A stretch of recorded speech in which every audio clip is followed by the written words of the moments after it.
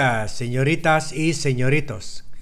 In, itong mga nakaraang linggo, nalagay sa kontrobersiya itong si Cebu Governor Gwen Garcia ukol sa Don't Mess With Us declaration niya uh, relative to the controversy involving her daughter, si Christina Frasco, kung saan na nalagay tayo sa international shame because of the 49 million na uh, sloganeering and branding program na na discover na na expose na mga Duterte vloggers to be a uh, a hoax.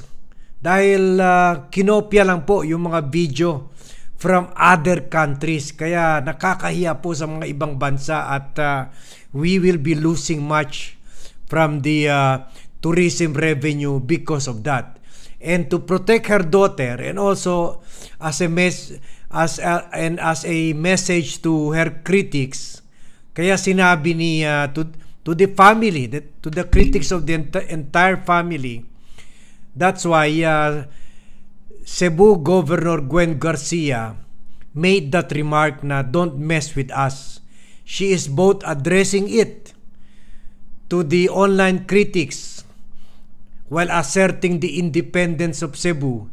And she's also telling it to political critics kasi tulad ng blinag natin noon, this issue started from the camp of uh, uh, former uh, uh, President Duterte, former President Arroyo, and uh, Vice President Sara Duterte. Don't be fooled by what you're seeing na kung wari pa embrace-embrace si, si Sara kay uh, Romualdez. The damage has been done.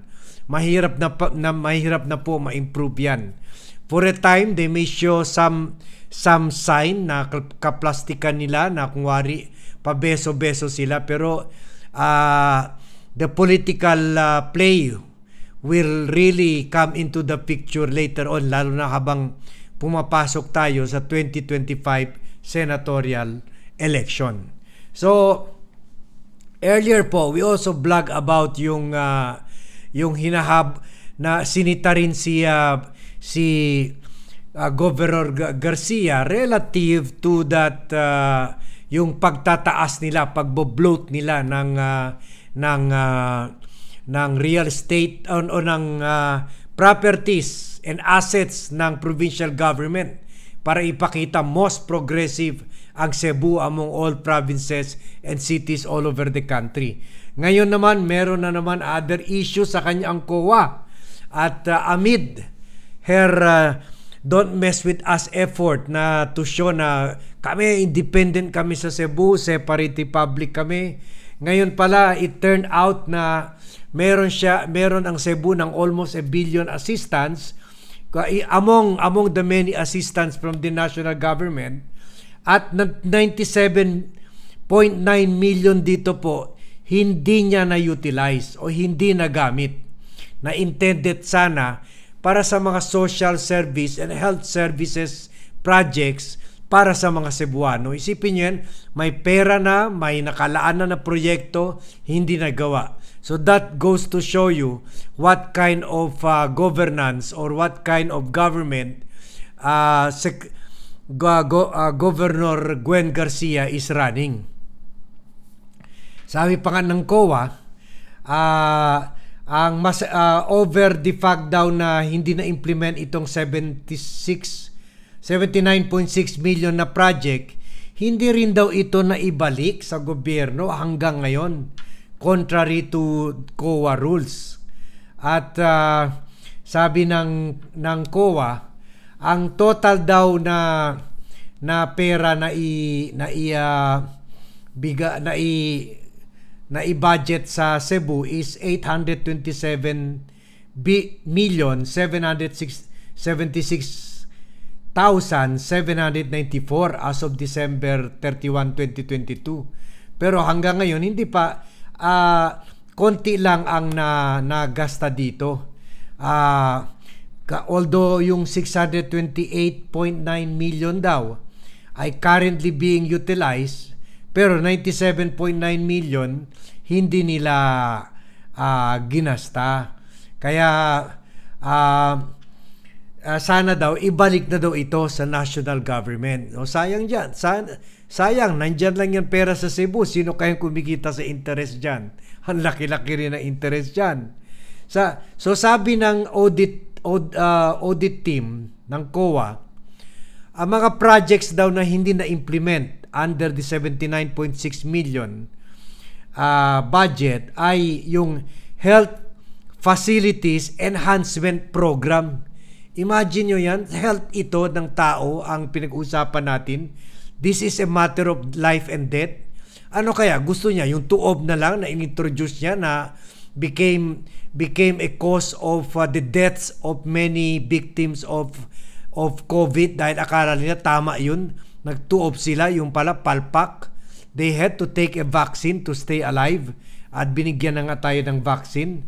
So hindi na implement itong Health Facilities Enhancement Program of the Department of Health for the completion of the Balamban and Danau Provincial Hospital hospitals totaling 79.2 million.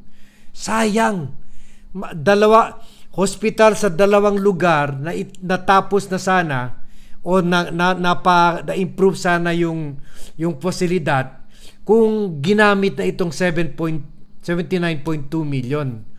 Pagkatapos uh, meron daw local government support fund projects on the public markets of the municipalities of Sogot and Alcoy and improvement of the multi-purpose buildings of Barangay Bitoon Daan Batayan, Ban, Daan Bantayan, and Barangay Langup, Santa Fe, which total 33 million. So kayo mga Cebuano, uh, na lalo na yung mga iniidolo sa mga Garcia, please share this para makita naman ng mga ibang Cebuano kung what kind of government uh, you have, what kind of governor you have. Sayang, uh, 97.9 million 97.9 million, pera na sana, pera na sana ayusin yung mga ospital nyo, pera na sana ayusin yung mga public market nyo, naging bato pa. Ibabalik pa sa national government at iba budget na naman ulit. Sayang, lost opportunity, lost services, lalo na sa nangangailangan nito yung mga yung mga uh, uh, yung kwan yung uh, nangangailangan ng tulong sa medical medical care. Sayang pati yung mga namamalengke diyan sa mga affected na lugar. Uh, nagtsatsaga kayo sa sa luma at uh, sirang-sira na mga public market. Yung pala may budget diyan na 33 million na hindi ginamit. Sayang na sayang. So now you know. Alam na this. So sabi rin ng COA audit team, uh, yung hindi rin nagamit yung PhilHealth Capitalization Fund. O yun, ito pang PhilHealth Fund ito, bakit hindi ginamit? So, ang sa dagdag pa ng COA, at ito yung sinamarize nila, yung ano nangyari dito. The non-implementation of the projects for which funds were intended deprive the different beneficiaries or constituents of its benefits, especially the indigent patients or families on the health funds, while the non-return on run remittance of the unused or excess funds from completed projects to the source agencies deprive the NGA's funds which can be used for other priority projects. So dalawang dalawang epekto ang ginawa nila ito na deprive nila ang serbisyo sa mga nangangailangan ng PhilHealth, yung nangangailangan ng hospital care, nangangailangan ng market facilities, lalo na yung mga indigent patients at mga pamilya nila. At yung hindi rin binalik nila yung pera sa gobyerno, na deprive rin yung, gobyerno, yung na, saan nanggaling yung pera, na ibalik ito or ilagay ito sa other projects na nagawa na sana. Mga ospital, mga mga mga uh, farm to market roads, mga tulay, nagawa na sana. Sinayang lang dyan sa Cebu dahil hindi nagamit. So, yun. Another, another, uh, another, uh, another view. You, uh, we are give the Commission on Audit is giving is giving people in Cebu and Visayas another uh, view of your governor. Anong klaseng governor na may pera na, per, lalo na sa ospital at saka sa pag-ayos ng mga public market at hindi ginagamit ito. Ano ba? Is she playing politics? Bakit? Ba dahil hindi na, na hindi hindi siya nanalo, nanalo sa mga lugar na ito or mababa lang yung uh, suporta sa kanya or or busy lang siya masyado to defend her daughter or para i-dispatcha yung mga lechon na sinabi rin ng COA na bumili ng 7 million na too much lechon uh, para pambigay lang sa tao at uh, kulang yung mga papeles kung meron ba talaga lechon bumili. Uh, so ano ba talaga? What really the, I think the, the governor owes her people an explanation. And ngayon guys, you know now the kind uh, of, of governor you have. And please share this blog to all Cebuanos. Please share this blog to to everyone you know dahil uh, may mga bali-balita tayo. She's planning to run for the Senate in the 2025 election. Ngayon, alam na this.